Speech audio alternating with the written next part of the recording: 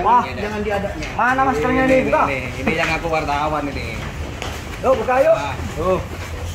Harus buka masker ini. Polres Pamekasan Madura menangkap Ferry Mulyono di restoran Kasmaran pada Rabu, 31 Januari 2024, sekira pukul 11 waktu setempat. Warga Dusun Genteng Timur Kelurahan Barurambat Timur Kecamatan Pademau Kabupaten Pamekasan itu, ditangkap atas kasus dugaan pemerasan terhadap Kepala Desa Somalang bernama Muhlis. Kapolres Pamekasan, AKBP Jazuli Dani Iriawan mengatakan, modus dugaan pemerasan yang dilakukan tersangka dengan cara menakut-nakuti mau membuka rahasia, berupa adanya temuan berupa foto proyek pengaspalan di Desa Somalang. Tersangka mengancam, jika tidak direspons akan memberitakan proyek tersebut.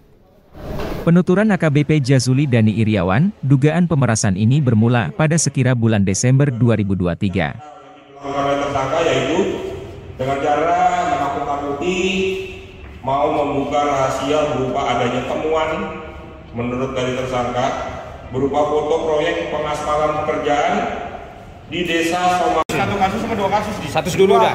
Satu dulu, Satu dulu, baru satunya youtuber dan. Dua kasus lah. Berarti isi satu kasusnya besok aja ya. Oke. Oke, nggak apa-apa. Oke, nggak apa-apa. Kalau ada waktu kenapa nggak sekalian dan? Enggak, besok, besok, besok, besok. Besok, besok dah. Kesepakatan. Kalau saya ikut Besok, sekalian besok, aja. besok. Biar satu. boy.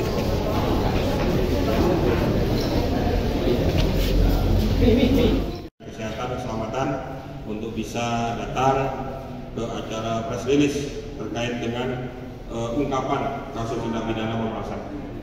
Eh, dasar laporan polisi LP garis miring B garis miring 17 garis miring 1 Romawi garis miring 2024 garis miring SPKT garis miring Polres Pamekasan garis miring Polda Jawa Timur 31 Januari 2024 Waktu dan tempat kejadian hari Rabu tanggal 31 Januari 2024 sekiranya pukul 11.00 WIB di kafe atau restoran Kasmaran alamat Jalan Jogotole Dusun Ser, Ser Desa Budangan Kecamatan Pademau Kabupaten Pamekasan apa yang terjadi eh, diduga tersangka VR ini VR melakukan dugaan tindak pidana pemerasan sebagaimana dimaksud pasal 368 ayat 1 subsidiar pasal 369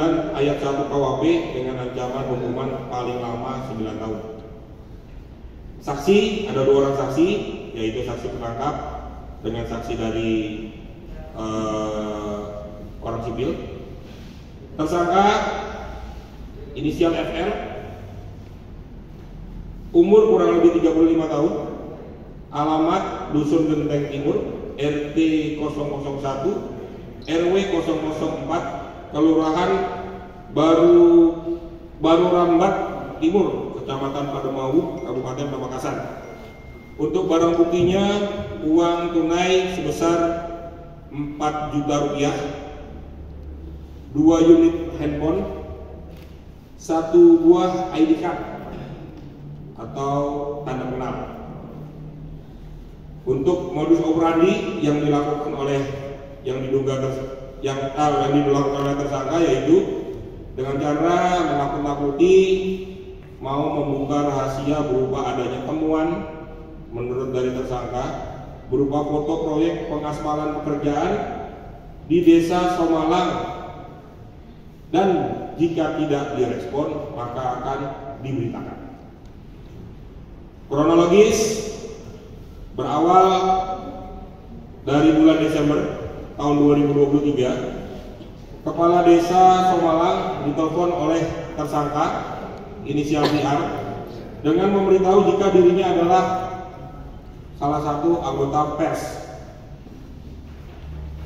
Setelah itu tersangka menanyakan proyek pengaspalan yang dikerjakan di desa Somalang dan mengajak dari kepala desa untuk bertemu.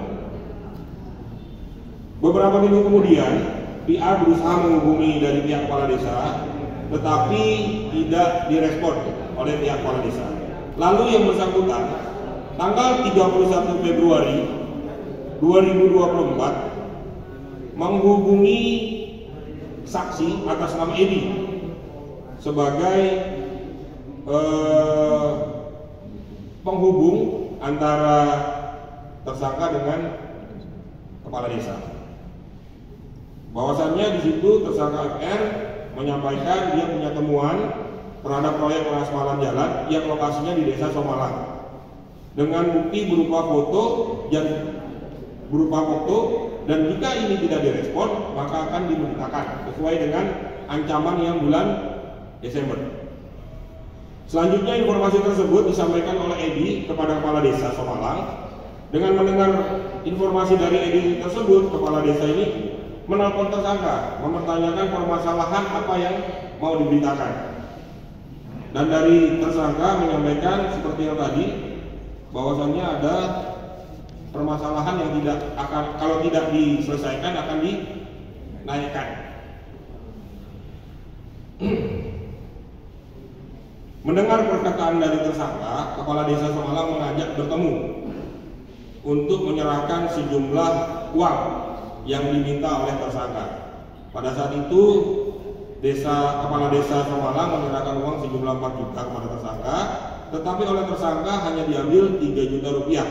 Dan setelah uang tersebut diterima oleh tersangka, selanjutnya tim opnal Satreskrim Polres Pamekasan mengamankan uh, yang tersangka ini di KP Kasmaran atas pengaduan langsung dari kepala desa Somalang. Dalam hal ini eh, dari tersangka tertangkap tangan berikut dengan barang buktinya. Mungkin itu rekan-rekan yang bisa saya sampaikan. Mungkin kalau ada pertanyaan kami persilakan. Oke, dari media apa dan? Kalau boleh tahu medianya? Kantor persnya dari media apa dan? Ini tadi saya baca. Nggak dibalik tadi. Dan izin dan Indopers. Oh Indopes. Indopers. izin dan Ah? Indopers, Indopers. Eh, dalam menjalankan aksinya tersangka ini apakah sendirian atau ada teman lain dan? Masih didalami, masih didalami. Jadi Informasi awal katanya ini yang menelpon Pak Kadis itu seorang perempuan. gimana? Informasi awal yang tangkap di, di bawah bahwasanya yang menelpon awal ke kepala desa itu seorang perempuan untuk bisa ketemuan di Kasmaran. Belum ada keterangan yang mengarah ke sana. Mungkin kalau pemerintah dulu itu hanya kabar burung. Jadi pada saat pemeriksaan belum ada keterangan yang mengarah ke sana. Dan apakah ini baru pertama kali yang dilakukan oleh tersangka yang menakut-nakuti kepala desa? Masih didalami karena konteksnya sekarang yang tersangka ini permasalahannya masih di sini, masih di dalam.